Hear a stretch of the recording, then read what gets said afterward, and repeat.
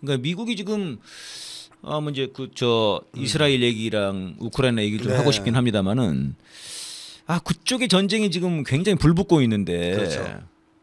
중국도 사실은 그 ICBM을 쐈죠. 44년 만에 연습을 네, 했더라고요. 발사했죠. 예. 그 저는 44년 만에 거 어, 오랜만에 했구나 그랬는데 연도를 보니까 80년이에요. 네, 그러니까 1980년에 80년 선생님 대학도 가시기 전 아닙니까? 그렇죠. 선생님 고등학교 때 네, 그때 ICBM을 네. 그 한번 시험 발사를 하고 지금 한 거기 때문에 이건 보란 듯이 한 거 아닙니까? 그렇죠.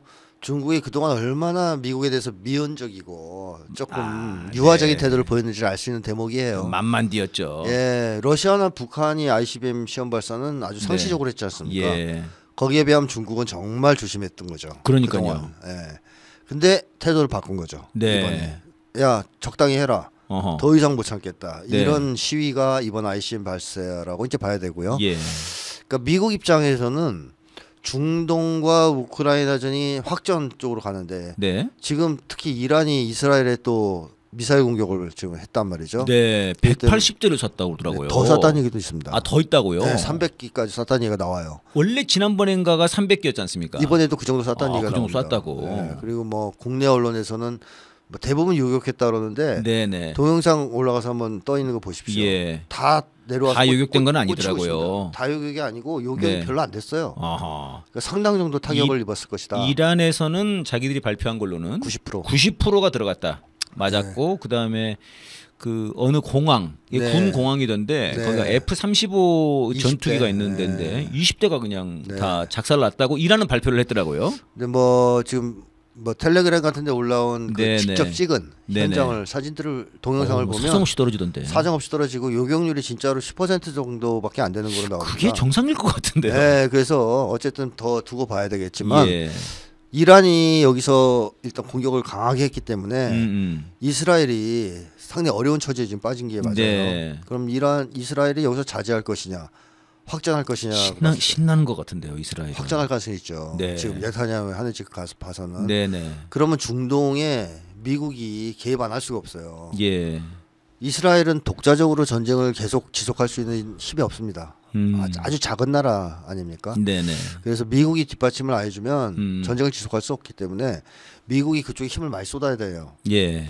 이렇게 쏟아야 되는 상황에서 미국이- 한반도의 전쟁이. 미국에서 제일 걱정하는 건 뭐냐? 아하. 우크라이나 중동전에 북한이 개입하는 겁니다. 아. 이 개입이 뭐 군사 무기를 대주거나 뭐 네네. 파병하는 것만 의미하는 게 아니고 어허. 양동 작전처럼 네. 이쪽에서 미국이 한참 하고 힘을 있는데. 집중하고 있을 때 이쪽에서 쳐버리는 네. 이런 것까지도 염두에 두지 않았었거든요. 아하. 따라서 한반도에서까지 긴장을 고조시키는 것은 별로 음. 현재 미국에게는 유리하지 않다. 네. 그래서 그런 점에서 윤석열을 관리할 수 있긴 하다는 거죠.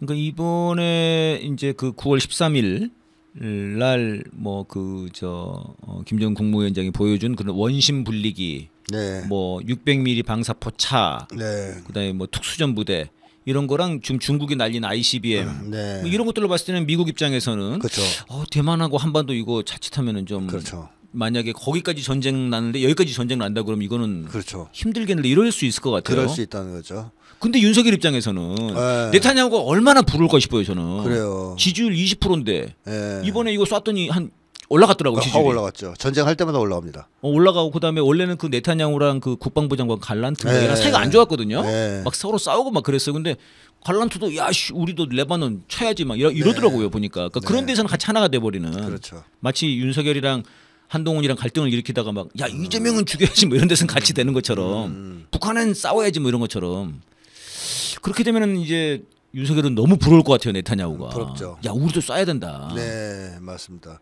그래서 절치부심 그런 기회를 네네. 노리려고 할 텐데 지금 할 텐데. 근데 미국이 지금 그 강력한 시위, 예. 아, 무력 시위에 지금 직면해 있고 북쪽에서 또 얼마 전에 경고를 했어요. 예. 국방상 부상이 또 담화를 네네. 발표했잖아요. 음. 뭐라 그랬냐면 미국이 자꾸 군사 전략 자산을 자꾸 전개하는데 네네네. 핵 폭격기나 뭐 잠수함, 항공모함 들여오는데 그 두 가지로 얘기하더라고요. 어, 하나는 허세, 허세다. 어, 허세 떨지 마라. 음. 두 번째는 윤석열 안심시키려고 그러는 거 아니냐. 음. 애가 너무 환각제다. 예, 환각제로 표현했죠. 환각제라고 그러더라고. 선생님이 환각제라고 하는 거는 윤석열이 그렇게 잡고 싶었던 마약 아닙니까? 네, 맞습니다. 그래서 마약 한다는 거 아니에요? 예, 마약이에요. 네. 근데 사실 미국 전략 자산은 네. 윤석열 심리치료제 심리 에, 좋게 얘기하면 네. 아니 선생님 심리 치료는 선생님이 하시는 거잖아요. 그러니까 근데 저는 못 해줘요. 아. 이핵 항공모함 정도 들어와야 좀 치료가 돼요. 네. 안심이 돼. 네. 예, 북에서는 핵 공포증이라는 표현도 썼어요. 아. 윤석열이 핵 공포증이 있다. 자 그런 것 때문에 어. 윤석열이 너무 불안해하니까 네네. 안심시켜 주려고 음. 이번에 국군의 날 행사 때 네네. B, B1B를 데려와서 전략 폭격기로 공중 시위를 했잖아요. 그러니까 윤석열이 그거 보려고 선글라스까지 끼고 나온 거 아니겠어요? 비 오는데. 예, 비 오는데. 비 오는 날에 선글라스 끼고 B1B 날아간 거 본 겁니까 지금? 예, 하늘 이렇게 쳐다봐야 되는데 하늘 보면 눈부실 수 있으니까. 네. 예, 그, 아 우리 형님이 보내주셨어 예, 비온비를. 예, 그래 나도 탑건에 톰 크루즈처럼 네. 이거 쓰고 저를 탈, 탈 수도 있지 뭐 이러면서 네. 흥분해서 아하. 근데 그런 것들은 그야말로 윤석열 안심용이라고 그래서 얘기했단 말이죠. 예. 근데 뭐라 그랬냐면 그렇게 하더라도 도를 넘었다.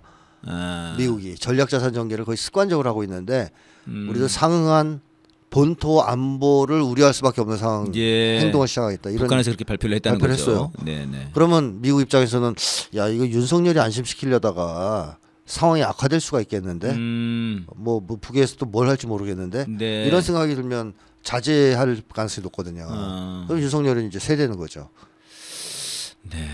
그 선생님 이게 이제 그렇게 되면은 전쟁은 윤석열이 그럼 만약에 못한다 손 치더라도 음. 그러니까 윤석열 입장에서는 어 전쟁을 못하거나 아니면은 네타냐후 보니까 뭐 그냥 일단 하면 도와주시는데 보니까 네 저지르면 뭐 저지르면 네, 사실 네타냐후도 좀 그런 거 아닙니까? 네, 그러거나 아니면 그것까지도 못한다 그러면 이 계엄 음, 이쪽은 때려잡는 거 예를 들면 진보 개혁 네. 이재명 여기 때려잡는 거는 할 수 있지 않습니까? 네, 자작극이라도 할 수 있는. 거죠. 최악의 경우. 아 전쟁도 자작극은 할 수 있다. 네, 목함지뢰 같은 거, 그렇죠. 그런 거나 아니면 배 하나 겨- 터트린다든가 통킹만 사건 같은. 뭐 그런 식으로. 아니 이번에 보니까 전방에서 CCTV를 갑자기 지금 다 교체를 했대 뺐대요. 네, 다 뺐죠. 다 빼고 천 대를 뺐는데 백 대만 뒀대나? 네. 게다가 좀- 또 얼마 전에는 핸드폰에 보안 프로그램 깔면서 네네네네. 아이폰을 다 없애라. 네 그렇게 갤럭시로 했더라고요. 바꿔라. 네. 근데 그 이유가 네. 아이폰에 안 깔린대요 이게 잘.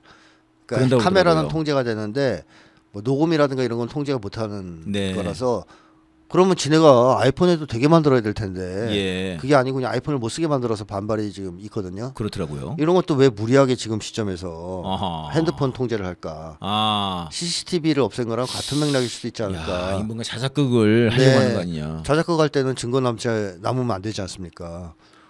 어, 그 제가 그 며칠 전에 예, 어떤 분이 채팅창에 그런 걸 쓰셨더라고요. 지금 이 국군의 날 행사 이거 네. 계엄으로 바로 그냥 전환하려고 하는 거라는 소문이 있다면 뭐 그렇게 나오더라고요. 아, 네. 그 정도로 국민분들도 음. 지금 굉장히 예민하게 네. 얘들이 계엄과 전쟁, 자작극 이거를 하려고 하는 거 아니냐 지금 그런 생각 많으시더라고요. 그 미국이 물살 틀음 없이 통제하면 뭐 그런 것도 고려해 볼 수는 있는 거죠. 네. 국가의 전쟁이 불가능하다면. 불- 불가능하다면 음. 예, 그래서 일단 지금으로 봤을 때는 어, 이 진보 개혁 진영에 대한 이 계엄 네. 탄압 이거는 정말 그 눈에 불을 켜고 좀 봐야 되지 않나 싶고요.